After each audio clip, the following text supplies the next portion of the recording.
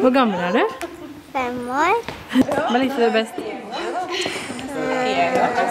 Alt og det var veldig gøy og sånt.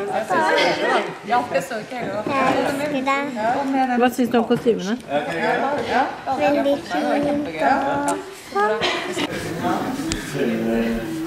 Det er et barneteater. Dette er veldig et Ja, hva likte du da? Mm, Når du var forelska Ja. og sånn. Er du redd for bier? Nei. Syns, hva syns du om de, da? Hyggelige og sånn. Hva liker du best med å se på dans?